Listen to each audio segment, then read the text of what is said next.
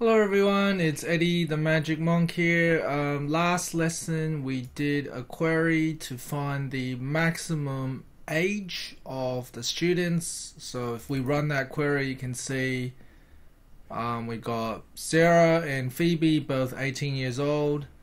So what I want to do now is I want to create a new query. So copy and paste that query, select query 8 and then let's edit our new query, close our old query. Actually, we might put it in SQL view. That's, so that's query 7. Let's go to query 8. And basically what we want to do now is I want to show you what the group by clause represents. So let's firstly select um, everyone from students. Now, let's say I want to know how many students there are. Okay, let's say I want to know how many students there are. Then what I can do is simply do a count, which just which is just a function that counts how many rows there are from students.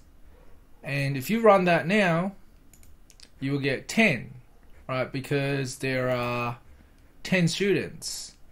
Now, here is where the group by clause is interesting. If I put in here group by gender, and then I select gender, comma, count, star, count bracket star, what this will do now is it'll group the rows uh, using the genders. So if you run this query, so design run, you get female and male, right? So that's a direct response to us saying group by gender. So we put them into groups using the values and gender.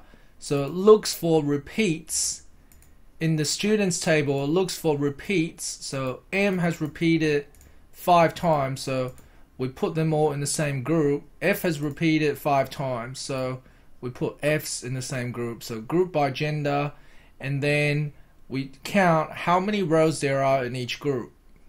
Okay, so now that's why we can get um, that's why we can get five each.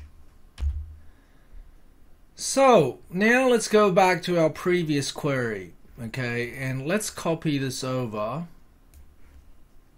Um, let's copy this query over and we're just going to modify a little bit. So what we had is basically find the maximum age. So let's just go back to just finding the age of each student. So if you run this, it lists the age of each student. Let's get the gender back up. So gender and what we're going to do now is we're going to find the average age of all the students. So if you go to SQL and you put um, average in front, so let's put AVG bracket and let's put in average here. So if we run that,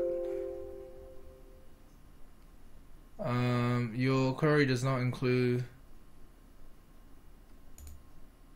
Okay, what's going on? Let's get rid of that. Run it. Oh, actually, we probably need to get rid of all of this. So run it, and we've averaged every single student's age in the table. So in the students table, if we looked at all their ages from the previous query. Okay, if I run this query, which is our previous query, um, if I run this query, I will get all their ages. And if you manually add them all together and divide it by 10, you will get 16. So that's getting the average. Now, if I want to combine that with the group by gender clause, I can actually go group by gender and then I can list I can find the average age for males and females. So by doing this, if we click run, we get the average age of females is 16.6 and the average age of males is 15.4. So that's pretty interesting. Now we've rounded the ages before they were averaged, right? Um, if you wanted to, you could round it again after their average, but it's probably okay to round it before averaging. Now you can also, instead of average, you can also use the maximum age of students.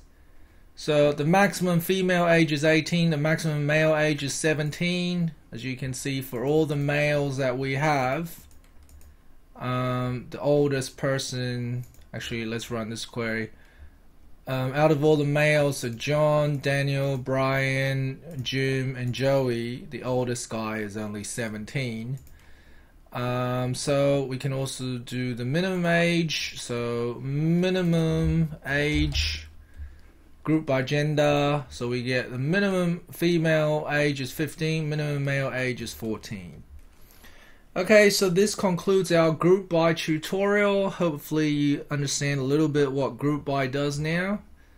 Um, thanks for watching. See you next time.